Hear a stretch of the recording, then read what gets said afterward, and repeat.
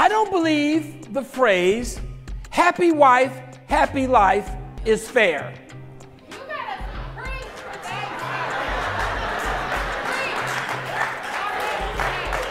I don't believe.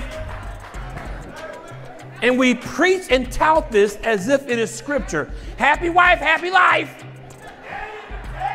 What scripture are you referencing?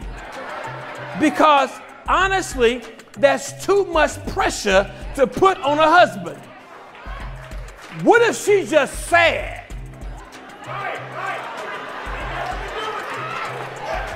What if she was sad before I met her? And she chooses to be sad on Christmas. What if she, That's too much pressure.